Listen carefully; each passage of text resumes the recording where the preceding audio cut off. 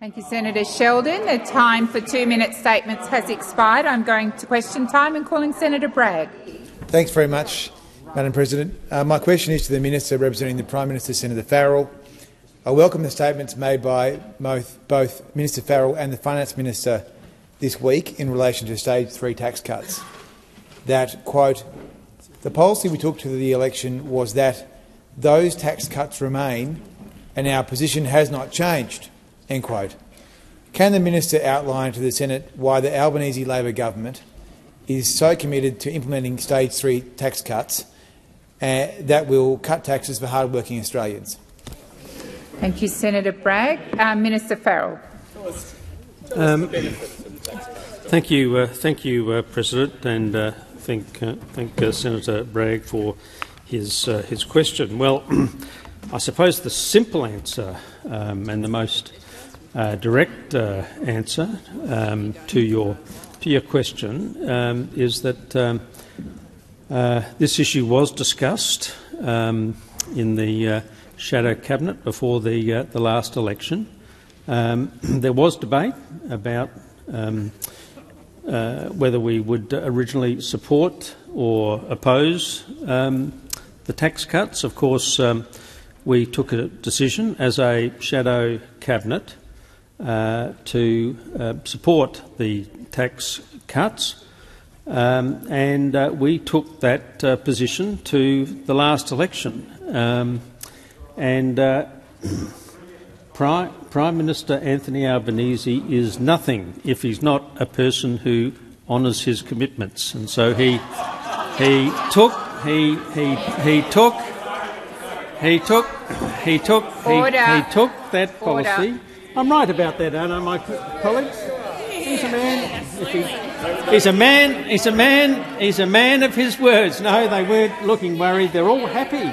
They're looking very happy. They're looking happy because it's Friday. It's the end of the week. Thank God it's Friday. We can uh, get out of here. We hope. Um, but look at all those happy faces and. And like me, they know that um, Prime Minister um, Albanese is a man of his words, and uh, he took that policy uh, to the uh, to the Australian people, just as he's doing in a whole range of other areas like childcare, aged care. You name it, you name it, in putting uh, electricity, putting downward pressure on cost of living, of course, uh, he's, um, Thank you, Minister Farrell. The time for answering has expired. Senator Bragg, first supplementary. Thanks very much, Minister.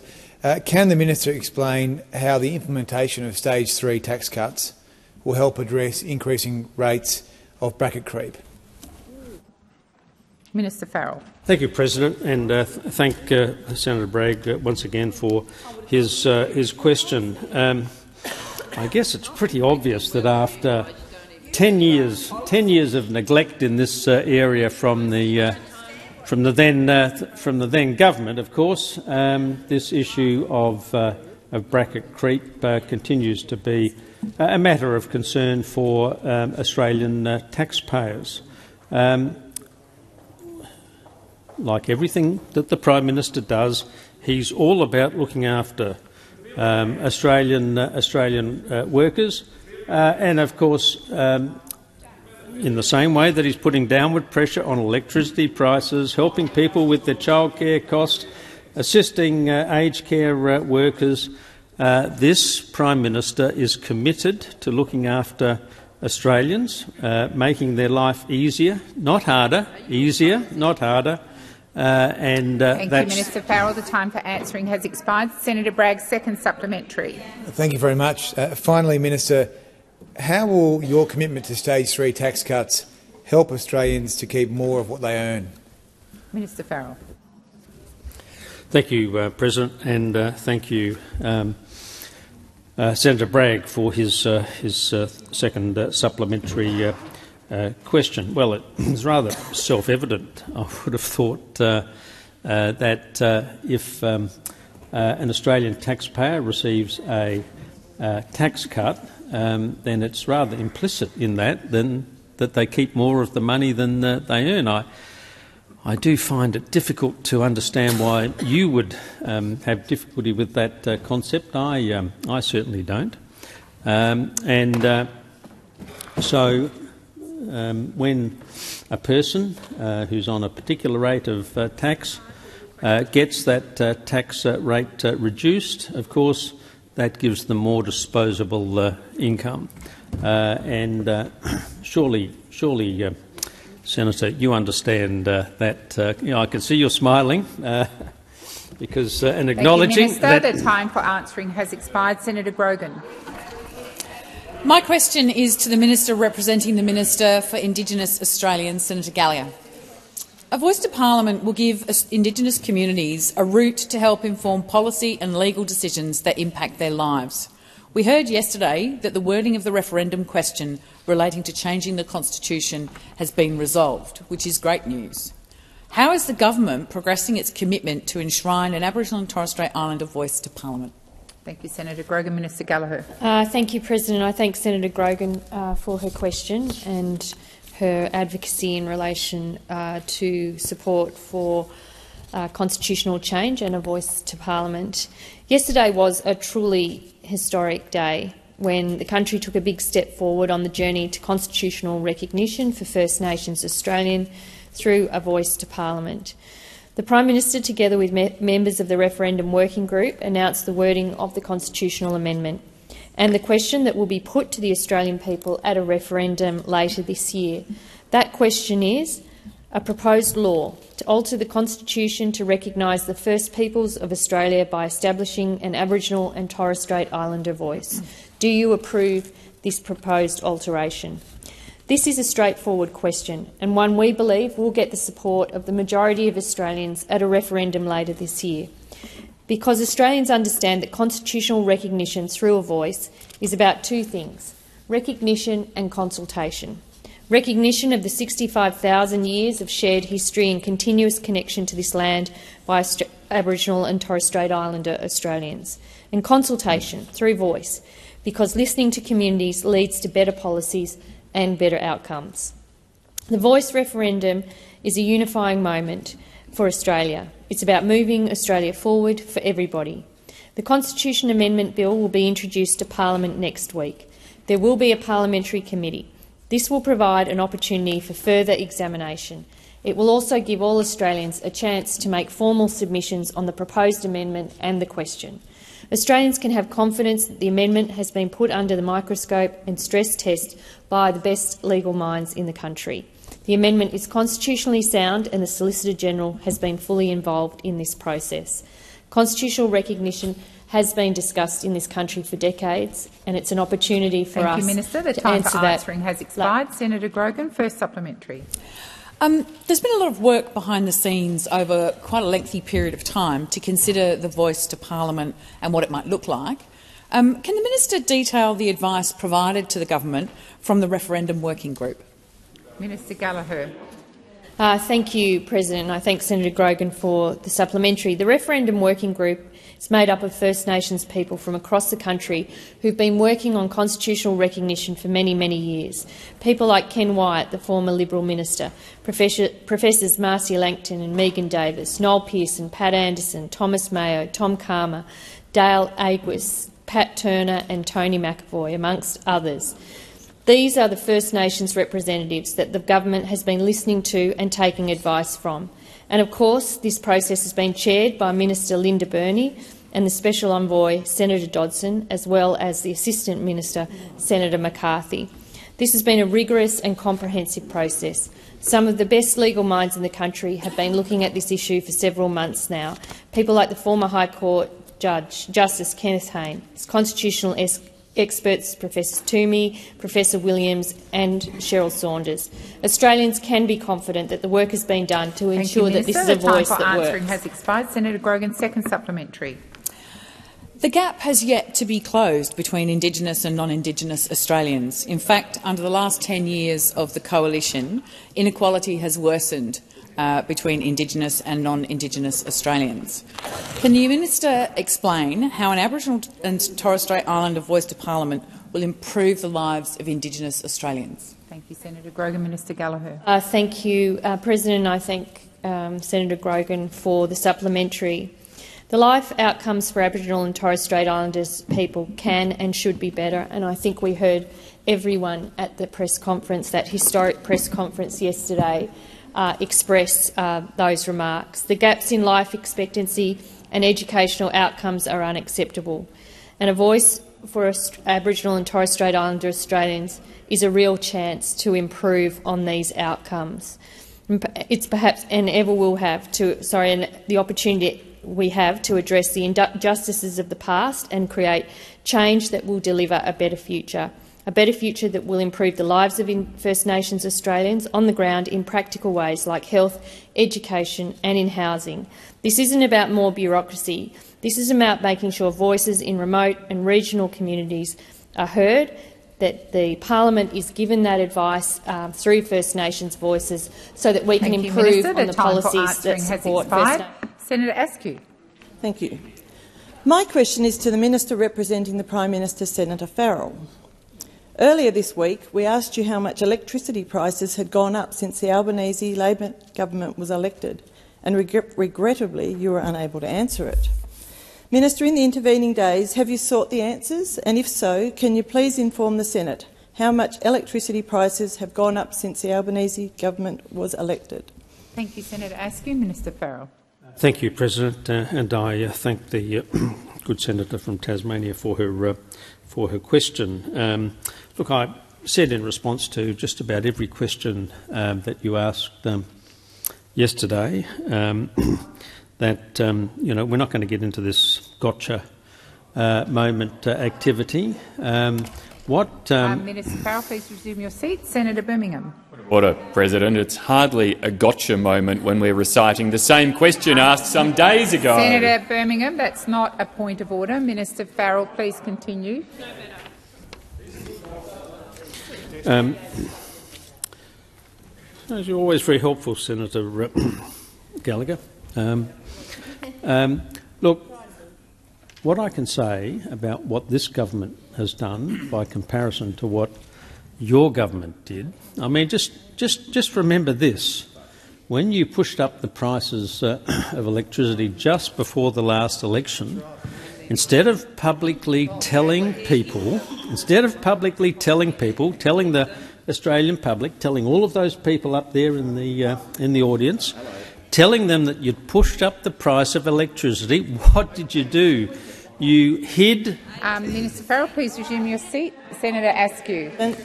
Um, it, relevance. The question was a very straightforward answer question that needs to be addressed. I'll just ask you to draw the minister back to the question. Um, the minister is reflecting on power prices, but I'll also remind him of the second part of your question, Minister Farrell. Thank you, uh, thank you, President, and thank you for that exhortation because it's highly relevant. It's highly relevant to um, the issue of electricity prices when your government failed to disclose to the Australian people weeks out from an election that you Order. had pushed. Order. Order. Senator Gallagher. Minister Farrell.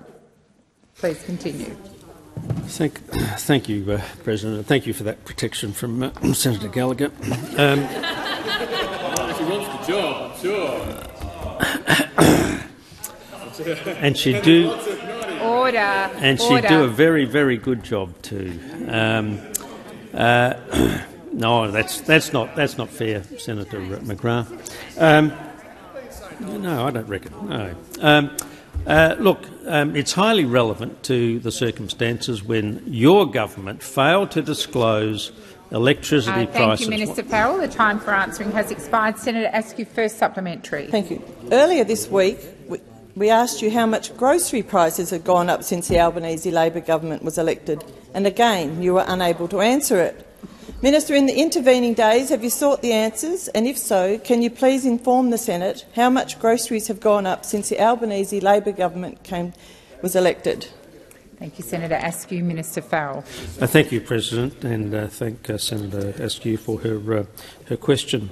Um, as I said, uh, as I said yesterday, in uh, answer to a not too dissimilar um, question, um, our Prime Minister wakes up, wakes up wakes up, wakes up every day and thinks to himself, how can he assist uh, the Australian population in pushing downward pressure on the cost of living?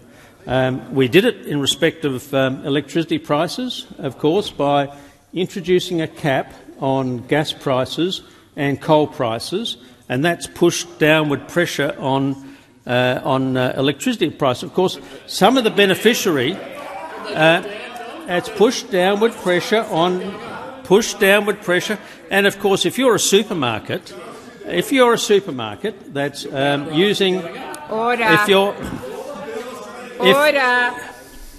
Minister Farrell. look, what's the point of asking? Um, Minister Farrell, please, please resume your seat.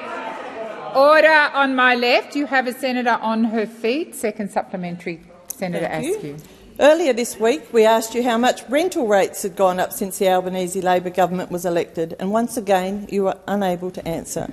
Minister, in the intervening days, have you sought the answers? And if so, can you please inform the Senate how much rental rates have gone up since the Albanese government was elected? Thank you, um, Senator Askew. Minister Farrell.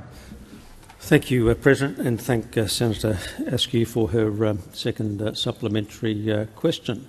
Um, the Albanese government understands quite clearly the sort of pressure that uh, people are under, uh, both in terms of rental rental costs, but also mortgage costs. Um, um, we've seen both of those rise. We, we, we, we've seen both of those rise. Um, uh, in, in recent times. That's why the Albanese government has been uh, so keen and working so hard to put downward pressure on all of the things um, that are um, causing uh, distress to, uh, to the Australian community. Um, and I've listed some, some things already. I've listed uh, childcare, where uh, less than 100 days, childcare costs in this country will go down. Doesn't. Uh, Thank you, um, Minister. the time for answering has expired. Senator Barbara Pocock. My question is directed to Senator Farrell in his capacity representing the Minister for Resources. Nu- nuclear submarines mean weapons-grade nuclear waste. Five Australian governments over 70 years have tried and failed to find a suitable place for the permanent storage of our existing low and intermediate level waste from medical and research activities. Even finding a site for low-level waste in our state of South Australia has met with very strong opposition from local communities and First Nations people. The AUKUS deal locks Australia into managing large quantities of weapons-grade waste requiring military pr pr protection for more than 100,000 years.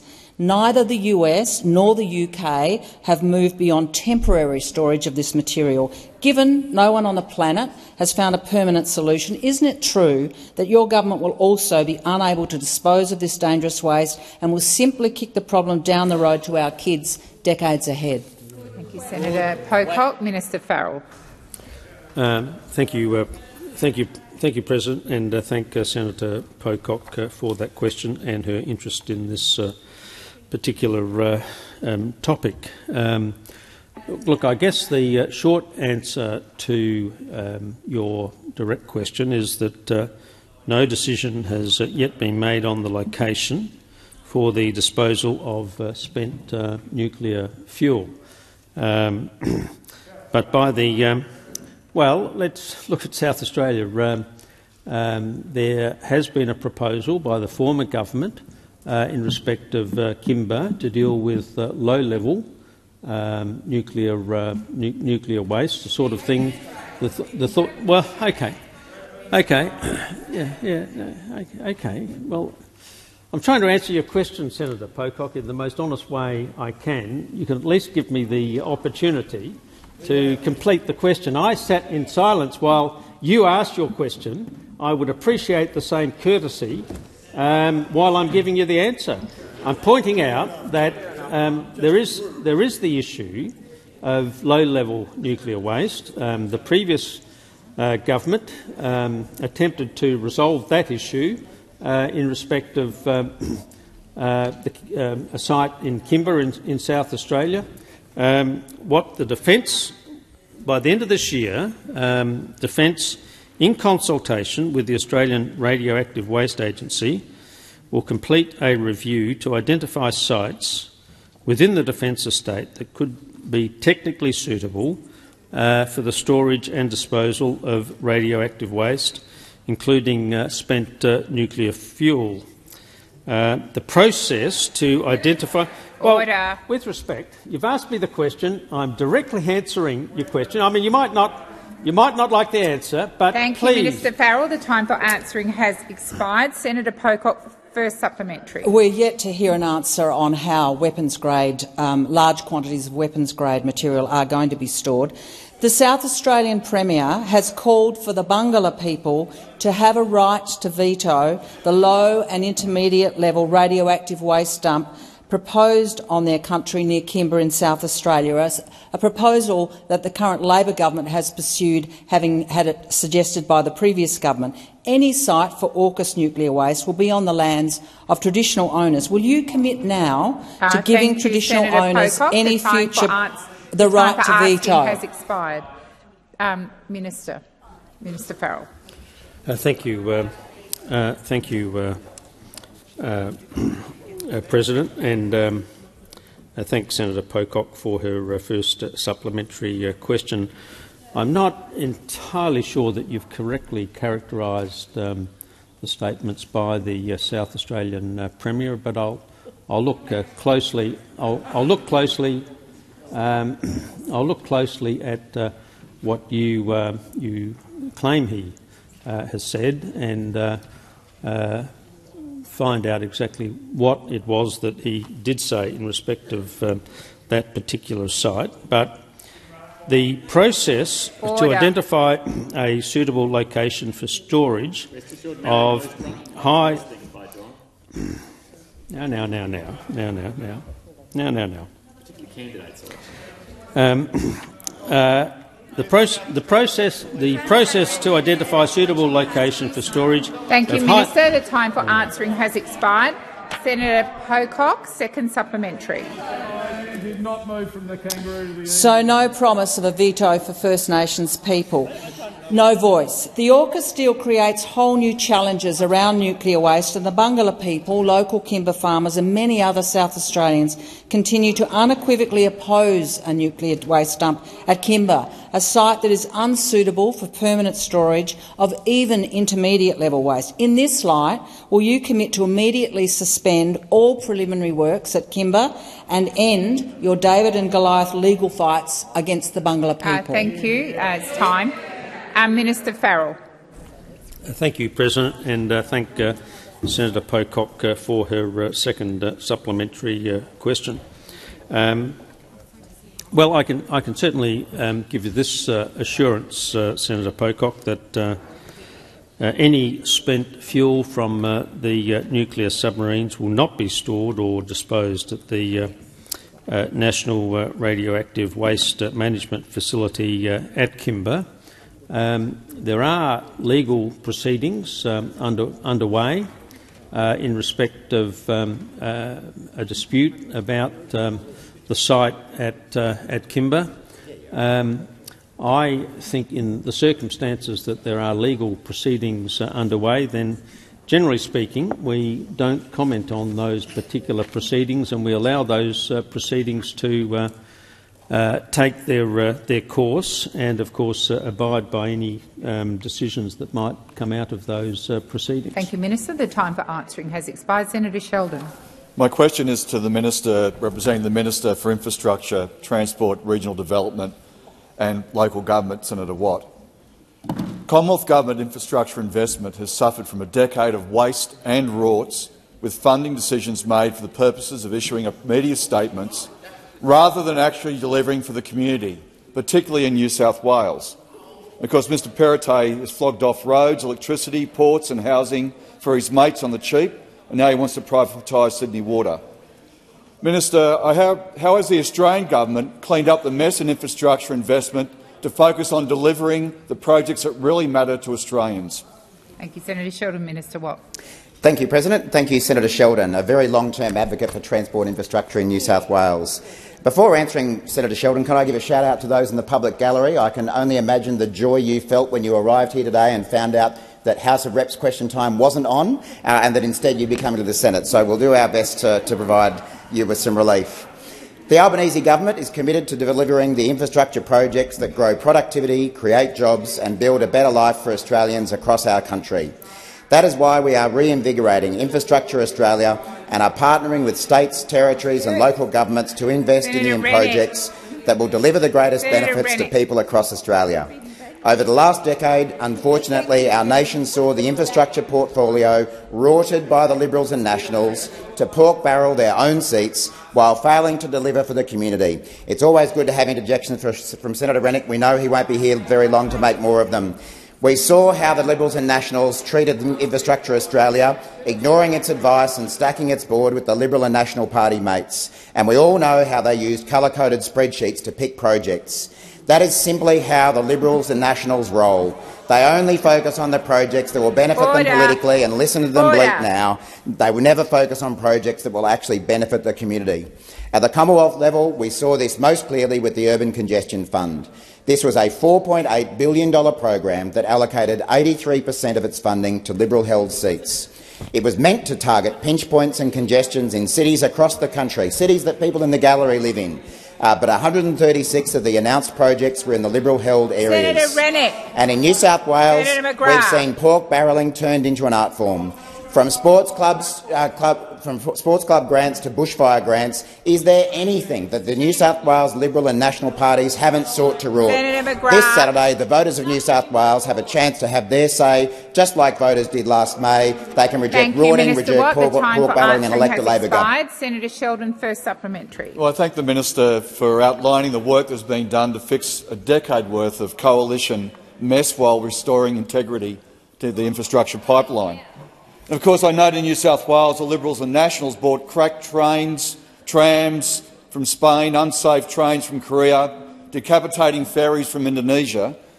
I want to ask the minister that how does the government is investing in infrastructure that creates jobs and enhances the economic productivity for local communities Thank you, in New Senator South Wales. Sheldon. The time for asking has expired. Minister Watt. Uh, thanks again, Senator Sheldon. Well, the Albanese government is investing in projects that will deliver jobs and opportunities to communities that actually need them, regardless of what colour they are on the spreadsheet. One of the biggest infrastructure projects in the country right now is Western Sydney Airport. It will support almost 28,000 direct and indirect jobs by Senator 2031, McGrath. five years after the airport will open in 2026. Importantly, these benefits and this opportunity will flow to local residents in Western Sydney, with at least 30 per cent of jobs during the construction phase having to come from local residents. Uh, when the airport opens, this will increase to a minimum of 50 per cent. And the Albanese government's skills guarantee means that 10 per cent of our workers on Commonwealth-funded infrastructure major projects will be an apprentice, a trainee or a paid cadet. Communities across New South Wales are sick of spending that is focused only on the political advantage of the government of the day. Working with the Minns Labor government we'll focus on the enabling infrastructure to deliver the greatest benefits to communities across Western Thank Sydney. Thank you, Senator Watt. Senator Sheldon, second supplementary. Thanks, Minister. That's great to hear that, because proper infrastructure investment in our regions is critical. And residents of regional New South Wales are sick of investment decisions being made on the basis of electoral boundaries rather than on merit. For example, we all saw the Liberals and Nationals even, even pork-barrelled with bushfire grants. When one thing in Labor won't be, there'll be no one in the Minns government that'll be turning around and calling themselves pork Barilaro. How has the cleaning up infrastructure investment delivered for Thank regional you, Senator? Sheldon. The time for asking has expired. Senator Watt. Thank you, Senator Sheldon. Well, we all remember that under coalition governments, Commonwealth and state, it is regional communities that bear the brunt of underinvestment and political pork barrelling. The biggest example of this at the Commonwealth level is the Building Better Regions Fund, and geez, Order. they don't like being reminded Order. of it. Former coalition ministers made decisions on projects based on a choose-your-own-adventure criteria that was not even explained to those applying for grants. Order across the chamber. Minister Watt, please continue. Thank you, President. What National Party seats benefited the most as proper. And well, Minister mate, do you want Watt, us to talk about that Minister right on Mower again? Minister Watt, please resume your seat. Senator McGrath, I've just called the whole chamber to order. I do not expect you to then continue interjecting. It is disrespectful and disorderly. Minister Watt. And at a state level, the Nationals behave exactly the same way, even going so far as to root bushfire funds in New South Wales. Senator McGrath. And if you think all this behaviour ended with pork Barilaro, you'd be very mistaken. The same people who were around the cabinet table when these decisions were made are now seeking another term in office. Only the Albanese Labor government and a Minns New South Wales Labor government will stop the rorts, deliver for Sydney and deliver for Senator regional New McGrath. South Wales. Order. Uh, Senator Watt, I will remind you when referring to um, members of other parliaments, it is uh, inappropriate to not use their correct titles. Um, Senator Roberts. Thank you, President. My, my question is to the Minister for Foreign Affairs and thus today to Senator Farrell. An ambassador is a person sent as the chief representative of his or her own government in another country. Given you have appointed a First Nations ambassador, does the government believe Aboriginal and Torres Strait Islanders are a separate sovereign nation? Thank you, Senator Roberts. Minister Farrell. Uh, thank you, uh, President, and uh, thank you, uh, Senator Roberts, for um, your um, question um, uh, and your uh, early advice uh, about uh, the fact that you were going to ask that uh, question of me. Um, the Albanese government is committed to implementing the Uluru Statement of the Heart in full and embed Indigenous perspectives, experiences and interests in our foreign policy. Um, Australia's foreign policy should reflect who we are, uh, a home to uh, more than uh, 300 ancestries and the oldest continuous um, culture on earth. We have, as you uh, have rightly uh, said, um, appointed Mr Justin, Justin Mohamed as Australia's first inaugural ambassador uh, for Australia's uh, First Nations uh, people. Um, he, uh, he will lead uh, an office uh, of First Nations engagement within DFAT to listen to and work with in genuine partnership with um, Aboriginal and Torres Strait Islander peoples. Um, Mr Mohamed has worked for decades in Aboriginal and uh, Torres Strait Islander health, social um, justice and uh, reconciliation in roles spanning the uh, Aboriginal community, government and corporate uh, sectors. Our First Nations foreign policy will help grow First Nations trade and investment. And can I say, um, having, having had the opportunity to discuss um, Indigenous, uh, an Indigenous role in trade and investment, um, it uh, is a significant issue of interest for other countries, and I might add uh, in that area uh, tourism, uh, tourism as well. Um, Thank you, Minister. The time for answering Thank has you. expired. Senator uh, Roberts. Thank you. Supplementary. Will you guarantee the First Nations ambassador, Mr Mohamed, will not make any representations to foreign countries or bodies on Aboriginal and Torres Strait Islander sovereignty? A yes or no is sufficient. Thank you, uh, Senator Roberts. Minister Farrell. Uh, thank you, and thank you, thank you, President, and thank you, um, Senator Roberts, and for very helpful, helpfully suggesting how I might answer your uh, question. But with due respect, I'll answer it in the uh, way that um, I would like to, and I think um, addresses uh, your uh, your point quite directly. Um, this appointment is about making sure Australian foreign policy tells our full story. Home to peoples of more than uh, 300 ancestry and the oldest continuous uh, culture on earth. Uh, projecting this reality of modern Australia to the world enables us to find common ground and alignment with other countries so we can work together towards um, the region uh, we want an open, peaceful, prosperous and respectful of sovereignty. First Nations' uh, connection uh, to the countries of our region go back thousands of years. They were the continent's first Thank you, diplomats and Farrell. the first traders. Um, Senator Roberts, second supplementary. Thank you. City based, white skinned activists imported the term First Nations from Canada and installed it in our universities. The term has nothing to do with our Australian Aboriginal or Torres Strait Islanders. Given these facts, do you agree that it is insulting to call our Australian Aboriginal and Torres Strait Islanders First Nations and to appoint an ambassador using that term? Thank you, Senator Roberts. Minister Farrell. Uh, thank you, uh, President, and uh, thank you, uh, Senator Roberts, for his uh, question. No. Uh, Senator Fawcett. Thank you, uh, President. My question is also to the Minister representing the Prime Minister, Senator Farrell. Will the Minister update the Senate on the status of TikTok bans announced or implemented by other Five Eyes nations? Thank you, uh, Senator Fawcett. Minister. Minister Farrell. Uh, thank you, uh, thank you, President, and uh, thank you, um, uh, Senator, for your uh, um, question.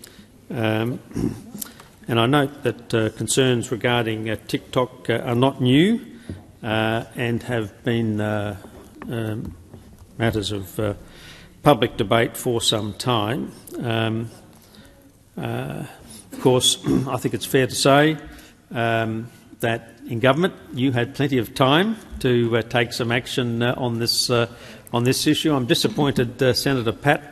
Um, Minister Farrell, please resume your seat. Senator Farrell, uh, Senator Fawcett. Uh, point of order: the minister's misleading the House. TikTok only launched in um, Australia in 2019. Senator Fawcett, that is a debating point. Minister, please continue. Well, well, well, well, well. Thank you, President. Um, well, my, my point was that if, if your government was so worried about TikTok um, and you claim that TikTok was introduced in 2019, well, on, on my calculations, that gave you three years. No, not that. This one here. Three, three years. Three years to deal with it. Um, I don't, I don't say you had nine years to deal with it, but I do say you had three years to, uh, to deal with the, uh, the issue. So, uh, you know, talk about crocodile tears, um, crying, crying, uh, crying about. Um, Minister Farrell, please resume your seat. Senator Birmingham. Thank you, President. Point of order on direct relevance. Uh, Senator Farrell has had a little bit of fun uh, in responding to the earlier point of order, but I would ask you to bring him back to what was quite precisely worded question uh, and to be directly relevant to that which is asking him to update the Senate on the status of TikTok bans announced or implemented by other Five Eyes nations. He has not gone close you, to the status Senator of those Birmingham. international actions. I will direct the minister to uh, the question. Um, minister Farrell. Thank you, uh, President. well, of course, um, the rise of social media and those um, in the chamber the other night will recall me uh, giving some advice to people about uh, social uh, social media uh, platform, platforms. Um, Australians are uh, sharing uh, more data and uh, more details on platforms that are not necessarily protecting that information. Uh, Australians deserve to be protected by uh, regulatory... Minister Farrell, please resume your seat. Senator Fawcett. Point of order on relevance. The question was about the actions by other Five Eyes nations, not Australia. Thank you, Senator Fawcett. I have directed the minister, and I will direct the minister again to your question. Thank you, uh, thank you President. Um, um, the, the Australian government is currently looking at. Uh, thank you, Minister. The time for answering has expired. Senator Fawcett, our first supplementary. Minister, on the 16th of March, the Deputy Leader of the UK Labor Party, Angela Rayner, said in relation to the recent UK government ban on TikTok on government devices, and I quote, this is a government behind the curve with sticking past solutions forced to lurch into a U-turn at the last minute, end quote. Does the minister agree with the UK Labor Party that a decision on TikTok is already well overdue? Thank you, uh, Senator Fawcett. Minister Farrell.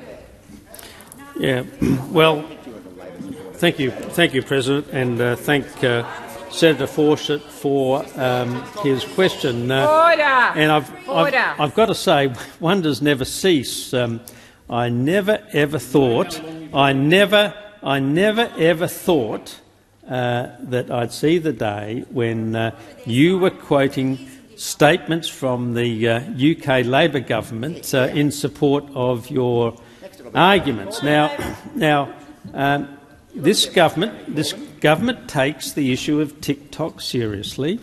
Um, we are in the process of, well, well, you had years and years and years to deal with this issue. You did nothing, and so many, like so many other things, where you had Order. where where there were issues that you should have dealt with in government. Of course, you didn't do it. So, so we are. Thank we you, are Minister look- Farrell. The time for answering has expired. Senator Fawcett, second supplementary. Thank you. Minister, given that Senator Paterson first raised on behalf of the Coalition the dangers of TikTok on government devices in July last year, and that all of Australia's Five Eyes partners have now acted, and that even the UK Labor Party, which, by the way, is in Order. opposition, not government, supports a ban, will the Albanese government now finally commit to banning TikTok on government devices? Thank you, Senator Fawcett. Minister Farrell. Thank you, uh, thank you, President. No, look, uh, you're right, uh, Senator. I was jumping ahead of myself. I'm, you know, anticipating uh, a uh, Labor victory in the well, New South Wales election, of course, but the UK election uh, in due course. Look, we have taken this issue seriously in a way that you never did when you were in uh, government. Um, the minister is um, currently uh, looking at the uh, looking, looking, looking at. Well, well, why didn't you act in the three years? In the three years, why, why, why Order. didn't, why didn't you act? Why didn't you act when you had Farrell. three years to do it? Farrell. Like so many things, you never Minister acted when you could have please done it, and seat. now. Minister. Senator Birmingham. Minister Farrell, please resume your seat. Once again, senators, there was so much disorder in here, the minister was unable to hear me asking him to resume his seat so that we could regain order and hear his answer. Please continue, Minister. Yeah, on a, Uh, on a, on a, Minister on a, Farrell, please resume your seat. Senator Sterle, when I've just called the chamber to order, that is incredibly disorderly. Minister Farrell. Thank you, President. And on a day when we're trying to lift the uh, standards here and show a bit of respect, it's yeah, yeah. Order. Order. We've uh, we we we I. You know, I can't even get an opportunity to answer the uh, question. Well, no, no. The answer, the answer is not that I. Uh, Minister, that's the not time the, for that's not the answering answer. has expired. Senator Shoebridge. Oh, thank you, President. My question is to Minister Farrell, representing the Minister for Defence. How many kilograms of highly enriched uranium, that's nuclear weapons grade uranium, will be carried on each of the Virginia-class submarines Australia is intending to acquire under the AUKUS submarine deal? How much, Minister? Thank you, Senator Shoebridge. Minister Farrell. Thank you, President, and uh, thank you, uh, thank you, uh, Senator uh, Shoebridge. Um, look, the um, the Australian government uh, has taken the decision, uh, um, and it's a decision I appreciate that. um uh, that you don't uh, you don't agree with, nor does your party uh, agree with, but to go down the track of replacing our Collins class uh, submarines, which were built in South Australia, um, with with um, uh, nuclear uh, powered uh, submarines. Now. There's a process here, of course, a staged process. As we know, the the government, the former government, uh, for nine years um, had a series of. Uh, Uh, thank you, Senator uh, Minister. Um, Senator Shoebridge, I have drawn it to your attention before not to stand to your feet and call point of order. Um, I am trying to keep order in this place, and doing disorderly things like that does not assist. Senator Shoebridge. My point of order is relevance. My question was very simple about how much highly enriched uranium each of these Virginia-class submarines will be carrying, not requesting a history lesson Thank about the you, failure Senator of the coalition. Senator Shoebridge. You've made your point of order, and I will remind the minister of your question. Minister.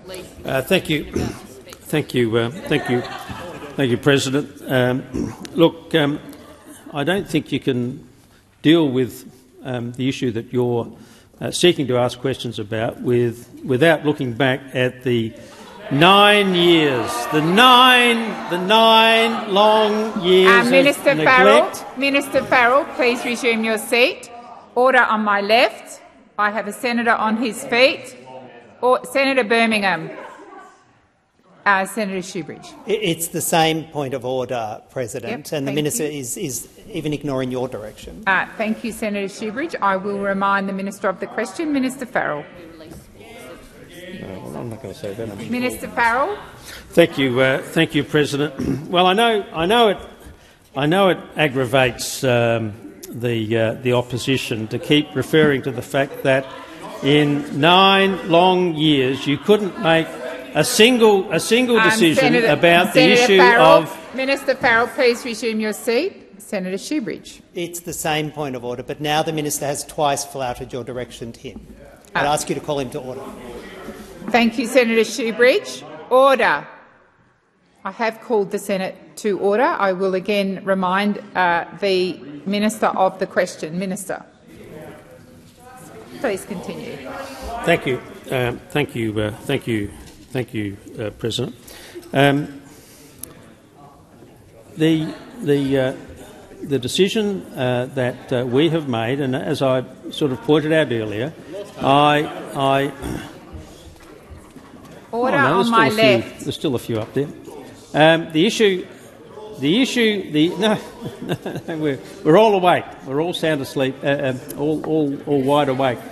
Um, the issue, the issue which um, um, Senator Shoebridge uh, raises, of course, I understand he doesn't agree with the uh, decision Minister Farrell, the time for shift answering to. has expired. Senator Shoebridge, first supplementary. We all feel it. Don't worry, we all feel it. Just a moment, Senator Shoebridge. Order on my left. I have a senator waiting to ask a question. Senator Shoebridge. Um, given it is impossible for nuclear reg- regulation, safety or, or, or disposal to, to be effective if you refuse to say, as you have just then, or don't know, as is probably clearly the case, how much weapons-grade uranium these submarines will carry, how can this decision be in line with our international non-proliferation treaty obligations, and why won't you tell the truth? Thank you, uh, Senator Shoebridge. Minister Farrell. Thank you, uh, President, and uh, thank uh, Senator Shoebridge for his uh, first uh, supplementary uh, question. Well, I totally reject the proposition that we're not telling the truth. Unlike, unlike, unlike the former government, we have been as absolutely open as we can about the way forward in terms of our defence and security issues. Um, we've, uh, we've only last week the Prime Minister um, sat with the American President and the English uh, Prime Minister to explain to the world, and uh, of course, uh, subsequent to that, uh, our neighbours in this uh, region, exactly Uh, what Minister it is. Farrell, please resume your seat. Senator Shoebridge. Uh, My question was about nuclear regulation, safety and disposal, not the uh, meeting uh, some weeks ago. And the minister is again refusing to be relevant. Uh, thank you, Senator Shoebridge. You did go to the Non-Proliferation Treaty and you did talk about telling the truth as well. I do believe the minister's being relevant, but I shall continue to listen carefully. Thank you, uh, President.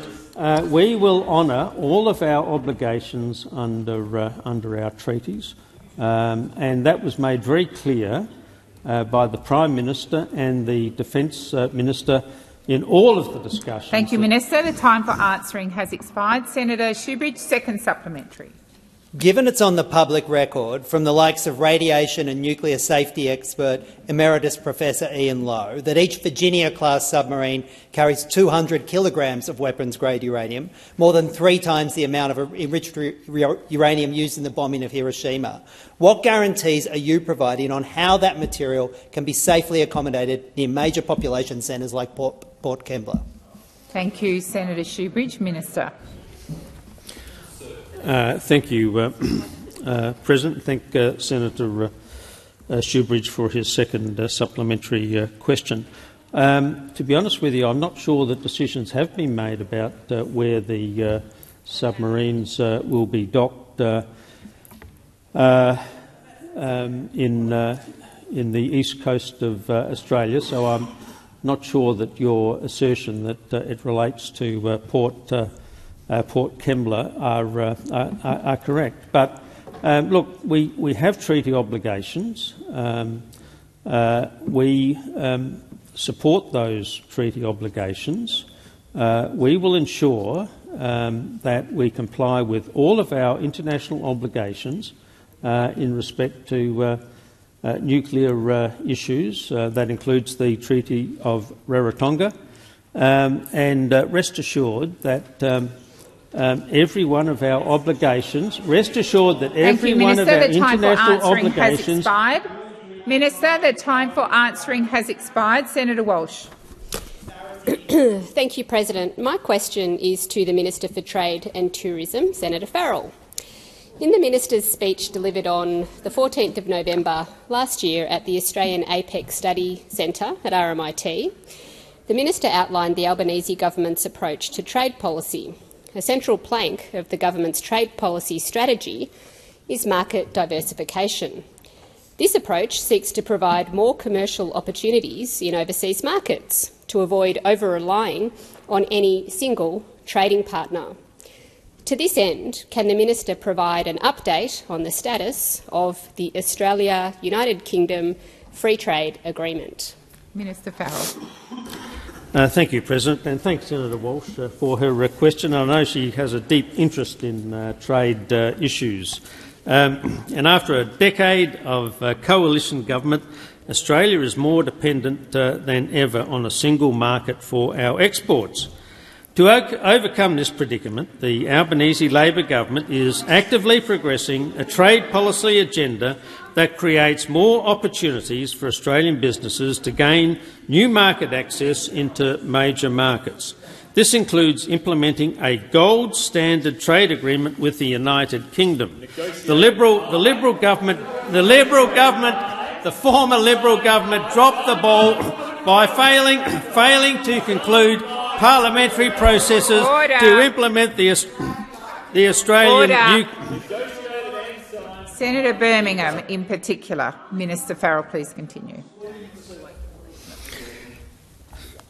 In contrast, this government prioritised the parliamentary processes to implement the UK Free Trade Agreement, which was concluded uh, last year. I'm pleased. I'm pleased. No, it wasn't. No, it wasn't. I'm pleased to advise the Senate that overnight. I'm pleased. Listen, please listen to this. Please listen to this. Calm down. Calm down. I'm pleased to advise that overnight uh, that uh, the United Kingdom move closer to finalise its finalising its domestic processes to be in a position to implement the trade deal with Australia. A significant step was taken with the King providing royal assent uh, to UK legislation to bring the bilateral free trade agreement into force. Completion of this step paves the way uh, for the laying of subordinate legislation in the United uh, Kingdom and Scottish parliaments uh, the final procedure required to complete the UK's ratification process.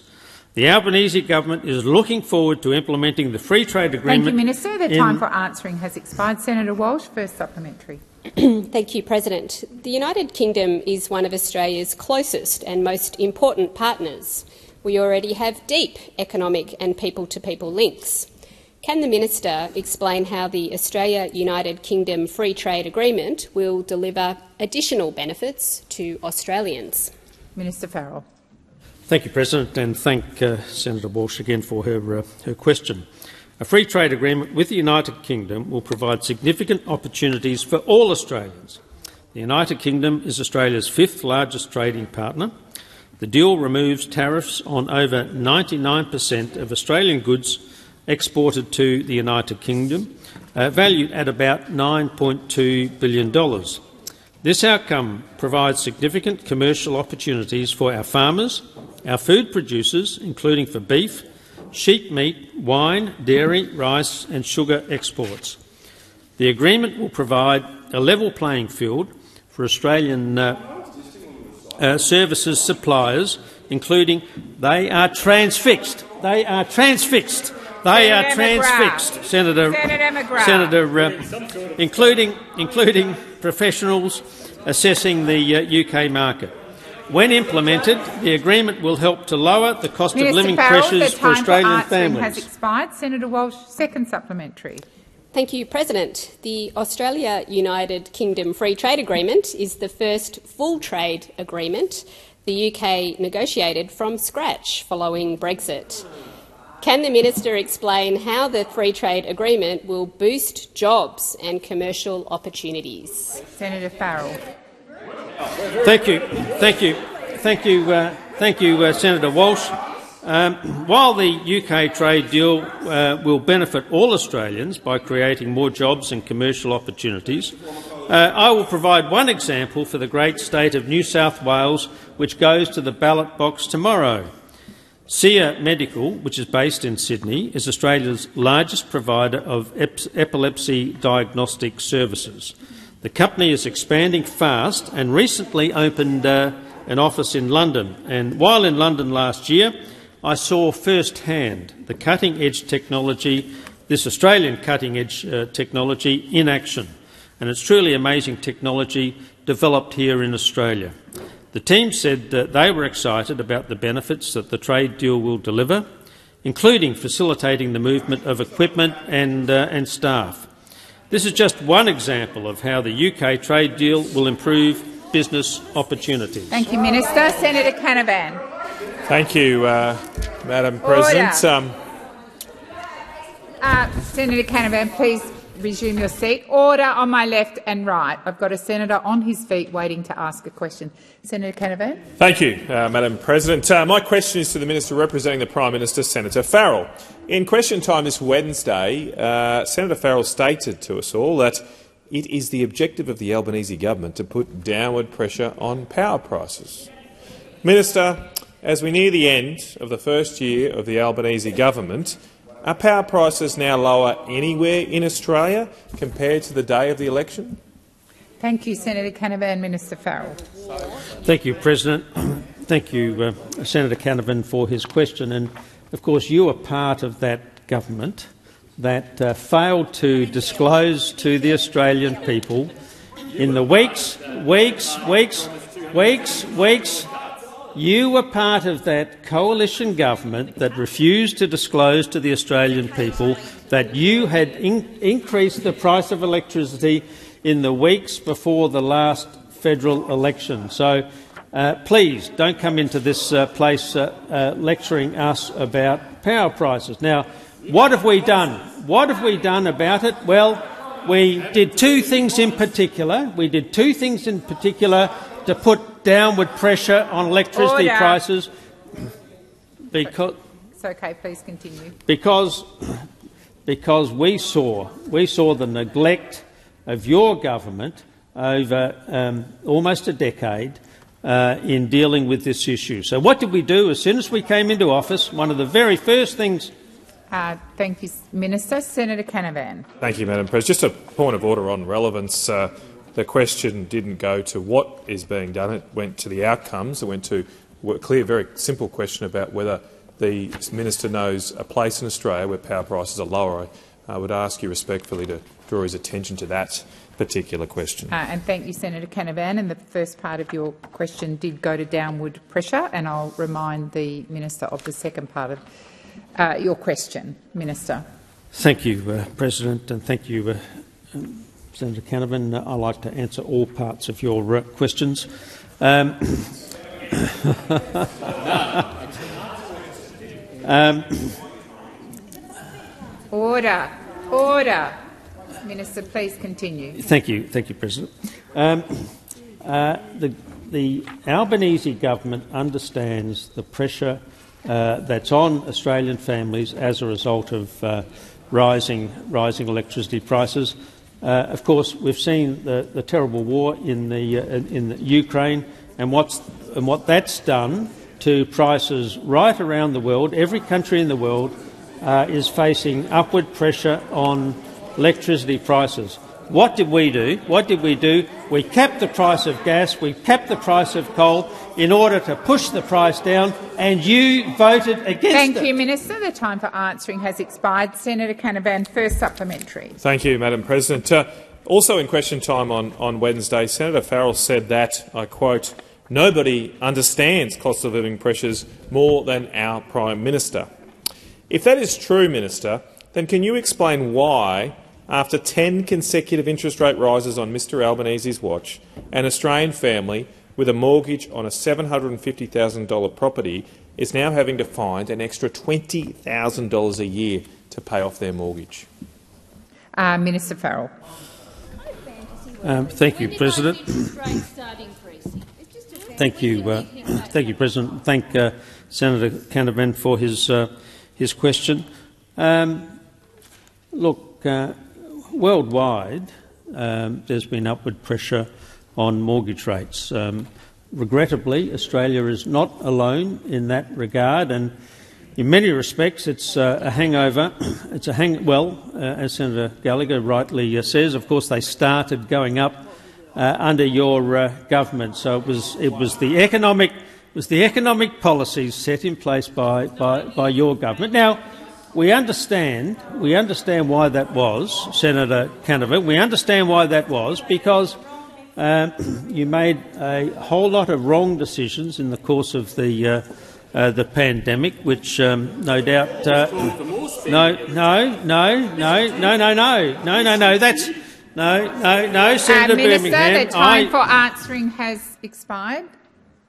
Senator Birmingham. President, I seek leave to move a motion relating to the Albanese Labor government as circulated in the chamber, which states that the Senate notes that A. Senator Farrell has demonstrated how out of touch the Albanese Labor government is when it comes to cost of living pressures on Australian households and businesses when he said, I do not follow power prices closely. B. Senator Farrell has demonstrated that the Albanese Labor government has no real plan to address cost of living pressures on Australian households and businesses. And C. Condemns the Albanese Labor government for breaking its promises to Australians by one failing to deliver its promised $275 reduction in power bills, two, failing to deliver its promised cheaper mortgages, three, failing to honour its promise to not change Order. superannuation taxes, Order. four, failing to honour its promise to not change taxes on franking credits, Senator five, Birmingham. failing Senator to honour its Birmingham. promise. Senator Birmingham, please resume your seat. Order on my left and right.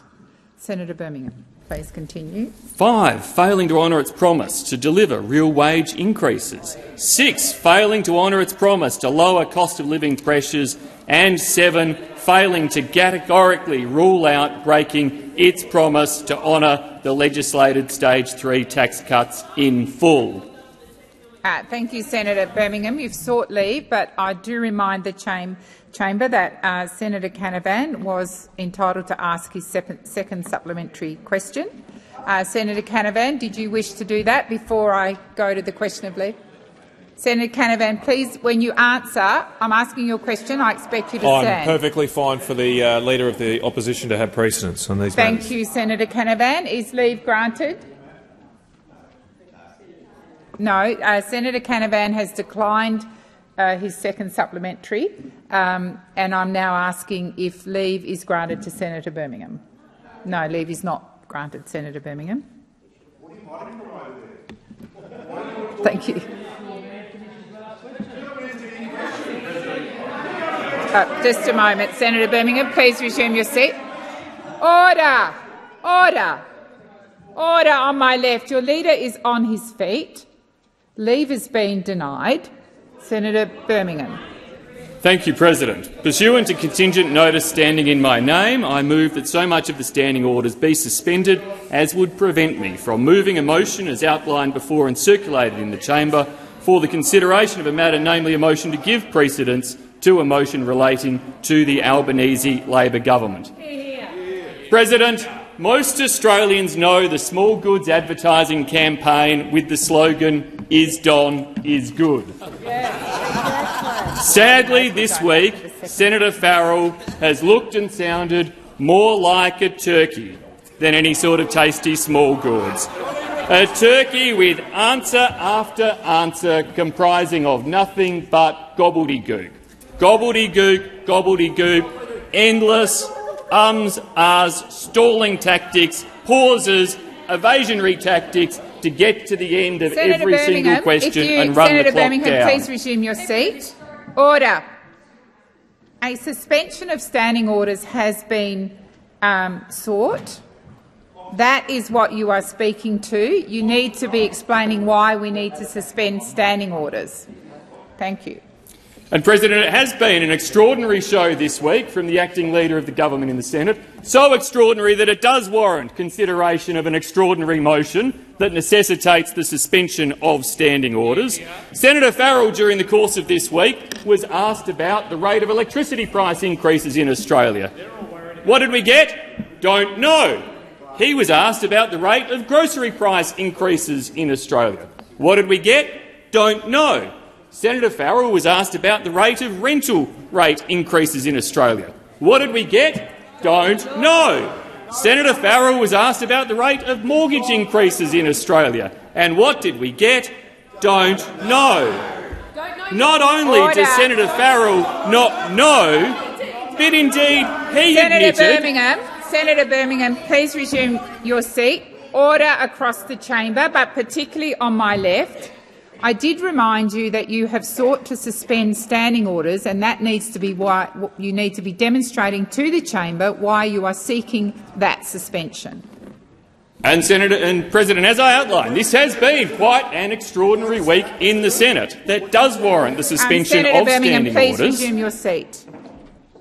Senator McGrath, I've just called the chamber to order. You are being incredibly disrespectful and disorderly. I would ask you to be silent. Minister, uh, Senator Birmingham, please continue. So extraordinary it has been, President, that not only has Senator Farrell indicated he doesn't know the answers to these things, but on power prices, he admitted, I do not follow power prices closely. Doesn't care. Right around Australia, households, small businesses are opening their power prices each and every day under the shock of the increasing rates of electricity, genuine concern and pressures that they are feeling. And here we have the Albanese Labor government saying it doesn't know, it doesn't follow it, and apparently it seems it just does not care. It doesn't care. It is a government indeed that is out of touch.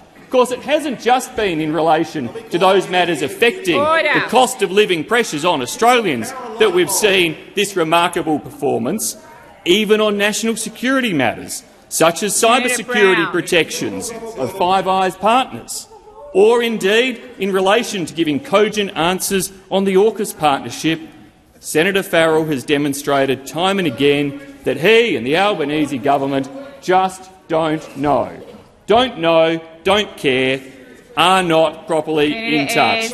And of course, President, it comes on the back of a government that is continuously breaking its promises. As we approach the one-year anniversary of this government, it is worth this chamber taking the step to give special attention to debate the many broken promises of this government. Senator Birmingham, Because Senator Senator Farrell- Birmingham, please resume your seat. Once again, the disorder across the chamber. Sen- Senator Brown, I've just sat the senator down, the leader of the opposition, to call for order. I don't expect senators to continue to call out. Senator Birmingham. As we approach the one-year anniversary of the Albanese government, it is worth this chamber taking time to debate the extraordinary list of broken promises that are being racked up and the denial of them that is occurring on the other side. Time and again we have sought to get the government to respond directly to their promise that they would reduce household electricity prices by $275. Indeed, during the course of this week, we've actually asked them to acknowledge direct quotes out of their own policy document. They won't acknowledge it. We've even handled the document across the chamber with the quote highlighted. They still wouldn't acknowledge it. We even asked Senator Farrell yesterday just to say the words $275, and he could not say it. He would not say it. They will not admit that on more than 97 occasions before Australians cast their votes, they went out and promised power price reductions of $275 and then the day after the election, not once since have they been willing to repeat that promise. Not one single day have any of you been game to repeat that promise, nor has Prime Minister Albanese, because you knew you never had an intention of delivering it. You knew it would never happen. It was a broken promise from the moment you made it. Just like your promises to not change superannuation taxes, just like your promises to not change franking credits. They're all broken promises from a government that has demonstrated just how inept it is, how committed to breaking its promises it is, and as a result, how much the Australian people are feeling the pain from a government showing so Thank early you, Senator how out Birmingham. of the touch time it has expired. Senator Farrell. Thank you. Uh, and uh, look, I've got to say I'm pretty disappointed in uh, Senator uh, Birmingham. These schoolboy tactics, um, these schoolboy tactics, you should have left. You should have left behind. You should have left behind. Uh, maybe at university even, but but look, one of the reasons, one of the reasons why um, and I don't think you've quite understood this, uh, Senator Birmingham. One of the reasons why you only got 71 likes on your uh, Facebook the other day is nobody is listening to you. Nobody is listening to you. The reason that they're not listening to you Farrell, is Senator you're Farrell, irrelevant. You're Senator irrelevant Farrell. to the Australian people. Senator why did you lose? Why did you lose Farrell. 20? Order. Sorry. Order. Please resume your seat. Once again, I had to call order about four times. This is disrespectful and it's incredibly disorderly. Minister Farrell.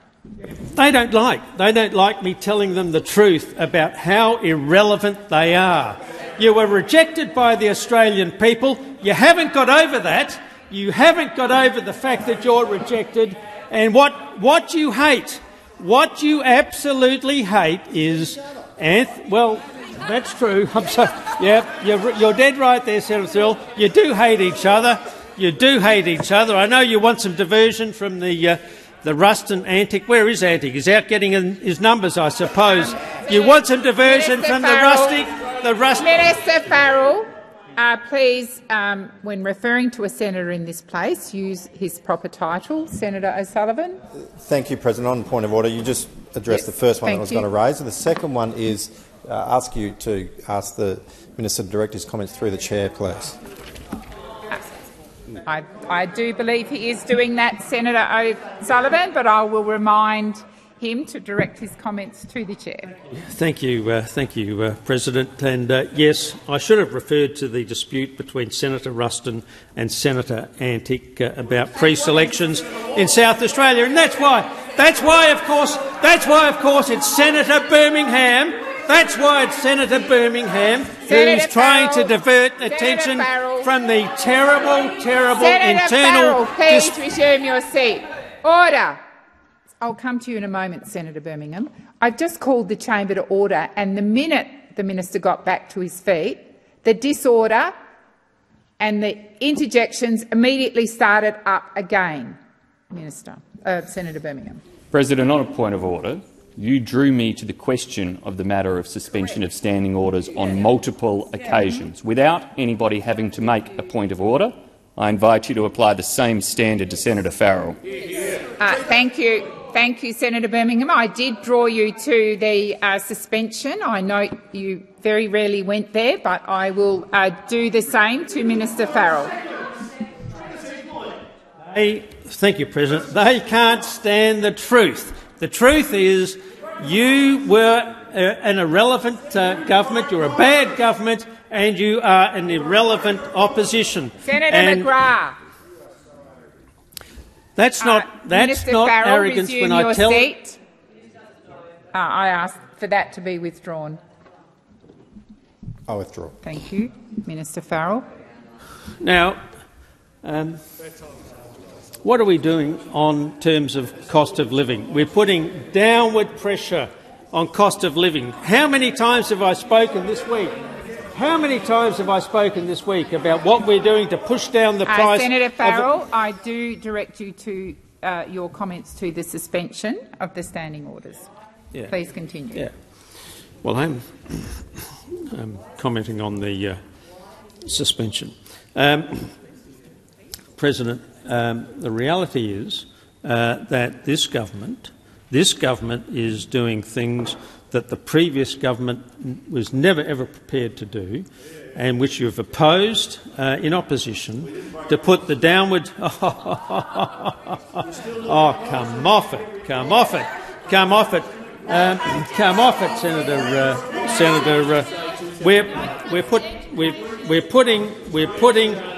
This is a government that understands the problems of ordinary working Australians, which your government, which your government never Order. ever, never ever Senator understood, and never, never ever will understand the problems of ordinary working Australians. We're putting that downward pressure. Cheaper medicines, cheaper medicines, cheaper childcare, cheaper childcare, expanding, expanding parental leave to six months, finally getting wages Minister moving Farrell, again. What was your pol- seat? I'm going to wait for order once again. Minister Farrell, please continue. What was your What was your policy on wages? Senator Birmingham. Structurally, uh, keep wages uh, depressed. We've supported ordinary working people to get wages uh, going. More affordable housing. We're doing something about affordable housing, which you completely ignored.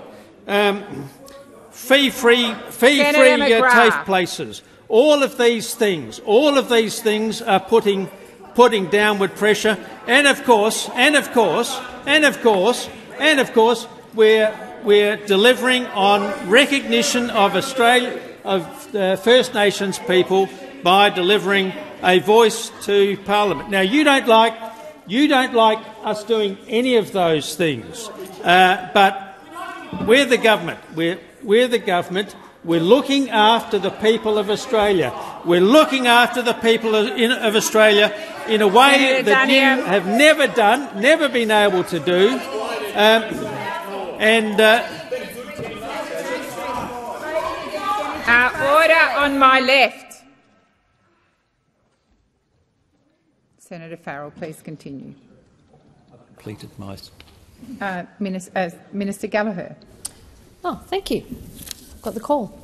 Uh, the government won't be supporting the suspension of standing orders, and I think we've all learnt today that next sitting Friday we don't invite the opposition uh, to attend. I mean, that's what we're seeing. Well, no, that's a, that's that's because Minister Gallagher, please resume your seat. Senator McGrath and Senator Hughes. I've just called the chamber to order. Minister Gallagher. Senator McGrath, Senator McGrath, you're making my point for me. You're making my point for me. You're shouting at Senator us. McGrath. Shout. Keep going. Come on. Is this the Senate of Australia? This is honestly Uh, the Senate Minister of Gallagher, Australia is, Senator is watching this. Senator, please resume your seat. Please resume your seat, Minister. Minister, I've asked you to sit down. Senator McGrath, I have constantly called you because you are out of order and you are being disrespectful. Minister Gallagher. Thank you, um, President. But this suspension, I think, demonstrates what we've been seeing for the last 10 months, but it's really hit home this week for the opposition, it seems, an increasingly irrelevant and obstructionist gathering of senators in this place that are determined to undermine and and sort of um, you know distract and cause damage uh, to anything constructive that tries to be done in this place. That's what we've been seeing. That's why here we are with the last 10 minutes, the last 10 minutes of the Senate sitting this week. We're dealing with a suspension debate. Nothing else, just a suspension debate on on on your essentially reflecting on your Order. conduct uh, this week. Um. Obstructionist and irrelevant. Say no to everything. Say no to absolutely everything. Everything that we are sent here to do in this place to progress issues on behalf of the Australian people, to implement the policies that we took to the election, you say no to. You say no to wage rises. You, know, you say no to the safeguard mechanism. You say no to the climate laws. You say no to extra housing. You say no to new manufacturing jobs. The list goes on and on and on. And when you say no to everything, you have nothing to say, do you? So you have to move suspension debates like you did this morning and like you're doing now because you are so irrelevant, you have nothing to bring to this chamber. You have absolutely no value to bring to this chamber. And so we are at the point where with 10 minutes to go, this is the best that you have. Order. This is the best that you have. You say no to almost every piece of legislation that comes in this chamber. You don't want to debate anything. You don't want to talk about it. Your your behaviour. Minister Gallagher, please resume your seat. Once again, and I reminded senators of this earlier, if you wish to participate in the debate, please seek the call.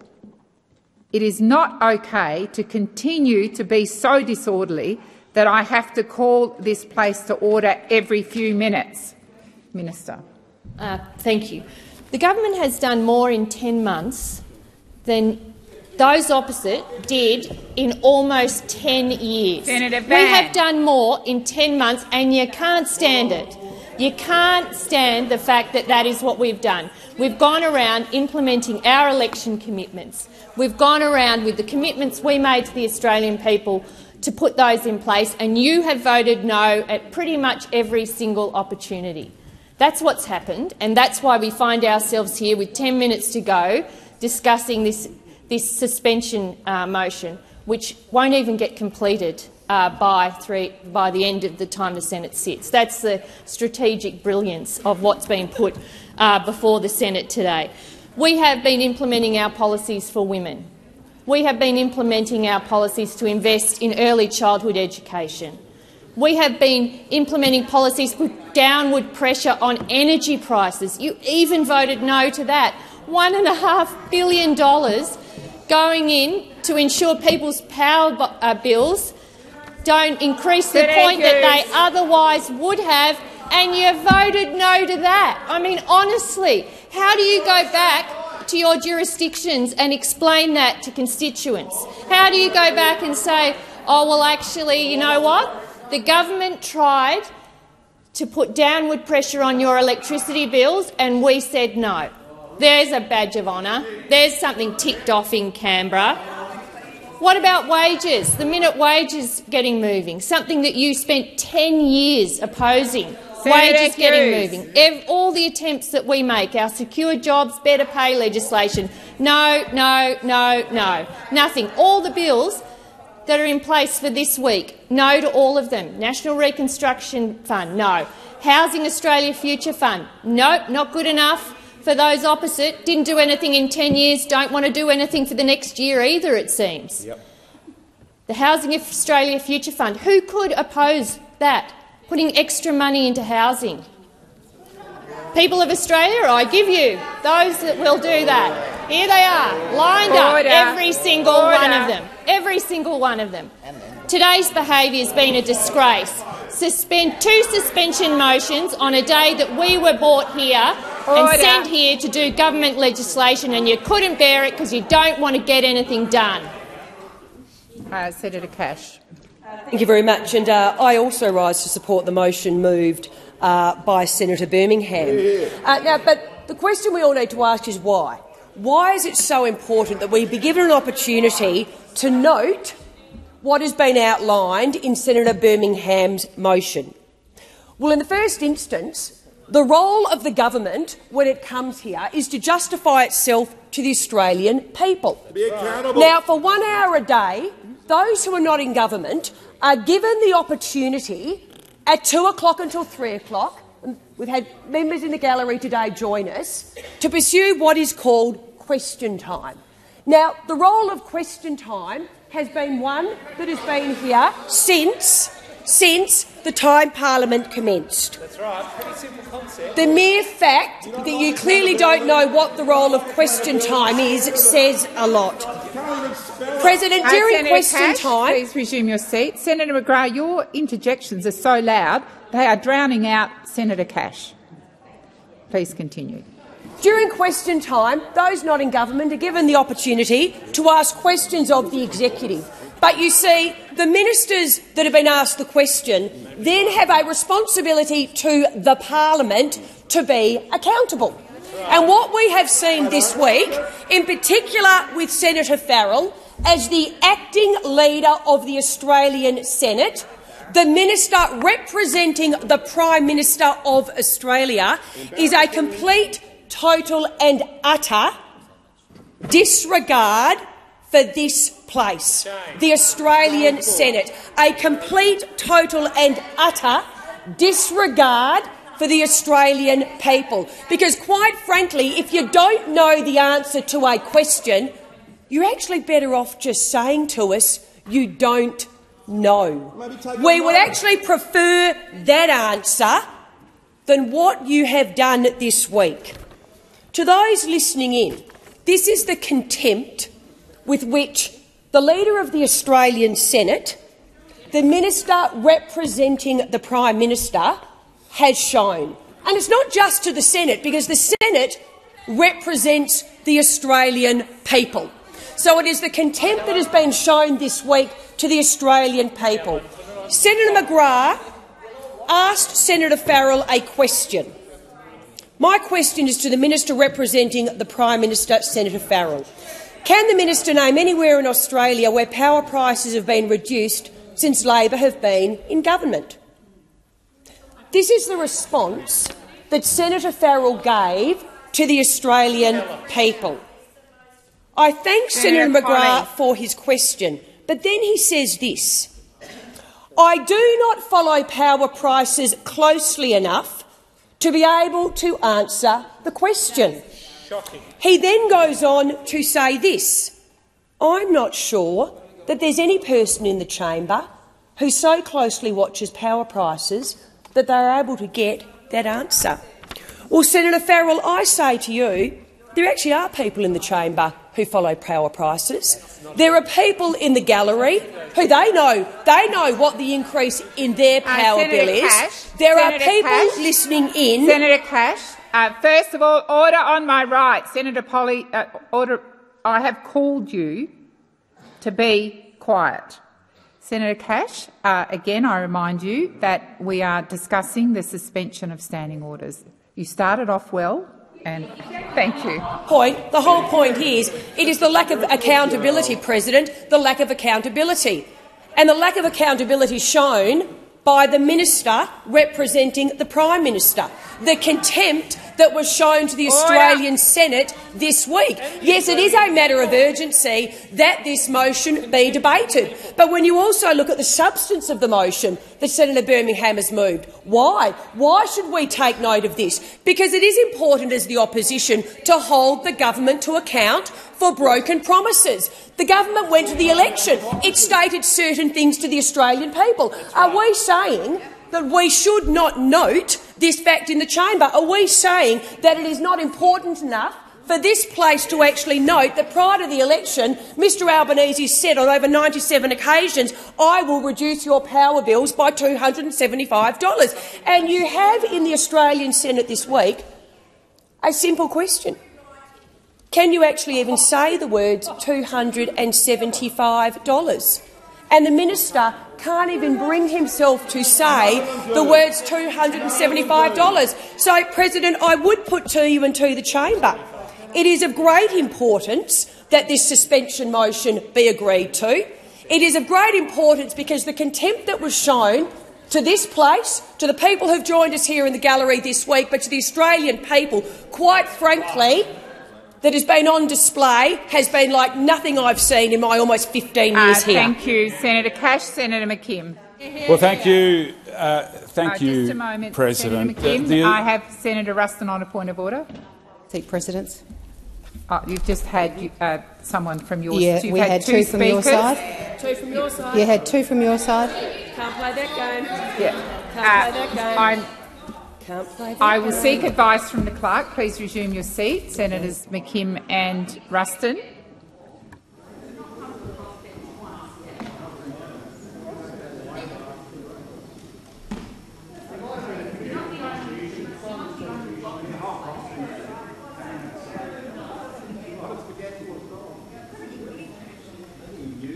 Uh, Senator Ruston, I'll give you the call.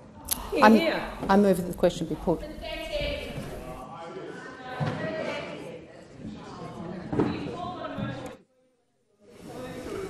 Uh, Senator McKim.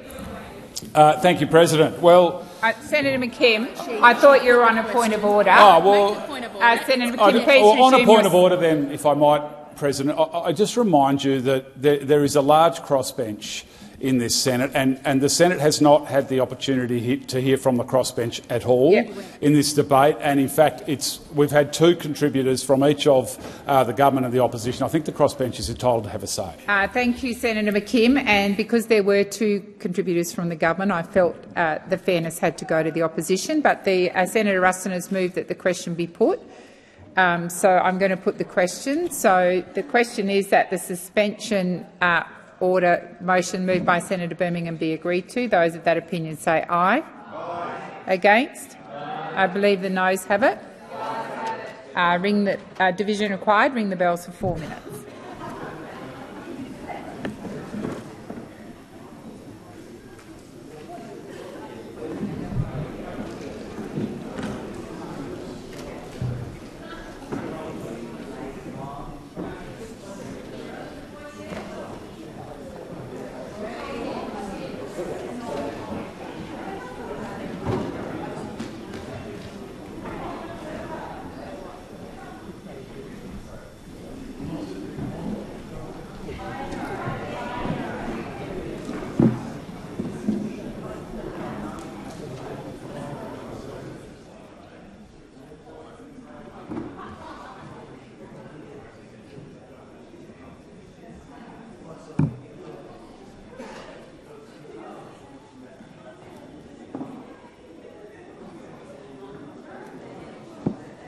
Okay.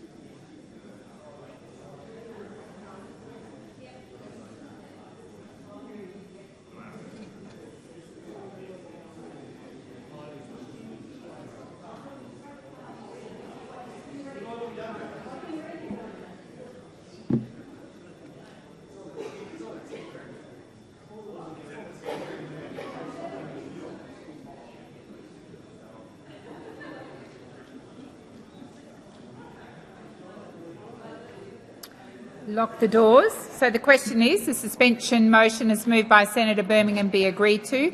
The uh, Senator Birmingham. Clarification, because I thought the question Oh, before the pardon. chamber Yes, was Senator. You're Yes, motion Yes. that the question be put. My mistake. So the question is that the motion is moved by Senator Ruston to close debate be agreed to. The ayes shall move to the right of the chair, the noes to the left. I appoint Senator O'Sullivan as teller for the ayes and Senator Urquhart as teller for the noes.